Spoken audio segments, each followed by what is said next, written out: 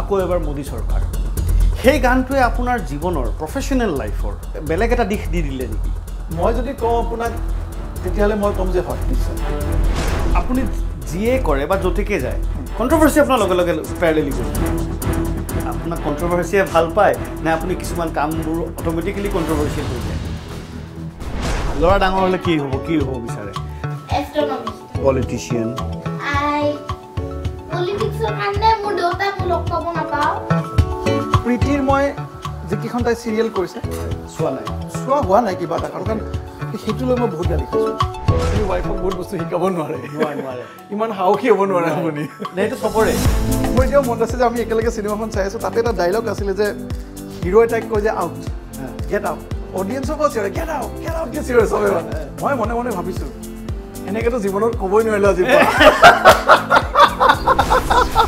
তোকে তোকে বাঁধি দে লাইল কি দিল কি খোপা হাইরে কে তোকে নজরি লাগা আজি নিশা সাত বাজি পঞ্চাছ মিনিটত।